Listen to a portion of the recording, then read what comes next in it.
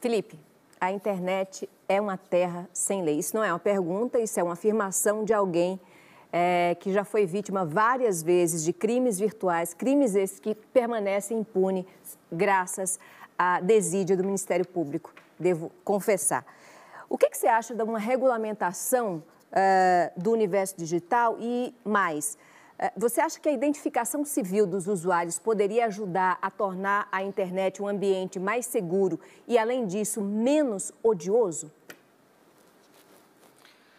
Raquel, essa é uma pergunta que eu já me fiz várias vezes. Se a necessidade de ter um CPF para acessar a internet é, poderia solucionar alguns dos problemas que a gente está tão acostumado, né? Tanto eu quanto você é, e tanta gente por aí. Às vezes de crimes até mais pesados, dos quais a gente não é vítima. E uh, eu, eu preciso ser muito sincero para você, eu não tenho uma resposta para isso. Primeiro, porque eu acho que precisa de muito diálogo de pessoas que são especialistas em crimes de internet, que são especialistas em investigação, que são especialistas também na própria antropologia envolvida, na sociologia envolvida. Né? Será que, que há um, um limite sendo ultrapassado quando a gente faz isso? Eu não sei.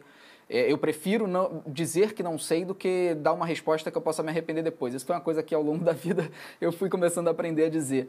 É, eu acho que, infelizmente, a gente tem hoje um despreparo, um, não despreparo, desculpa, foi a palavra errada, uma falta de investimento muito grande para a polícia que trabalha no combate a crimes virtuais. Eu pude ver isso de perto quando eu tive dois episódios onde eu precisei do auxílio da, da polícia para esse tipo de, de assunto. Né? Um foi o vazamento de intimidade e o outro foi é, a questão das ameaças de morte. E eu pude ver o quanto essas pessoas trabalham em condições desumanas para conseguir solucionar os crimes. Né? Muitas das vezes tendo que levar o próprio computador para o trabalho, porque o Estado não fornece o básico de, de computador para a pessoa que vai investigar crimes virtuais. Então, é, é um cenário trágico, triste e que precisa de investimento, que precisa de diálogo, que precisa ser observado e, e, e eu acredito que está sendo completamente negligenciado nos últimos anos. Eu Porém, espero muito que esse cenário mude. Mas respondendo hackers. a sua pergunta, eu não sei.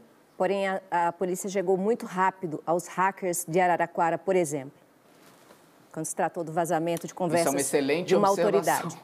Nós somos cidadãos comuns, então é, somos tratados de forma diversa, infelizmente.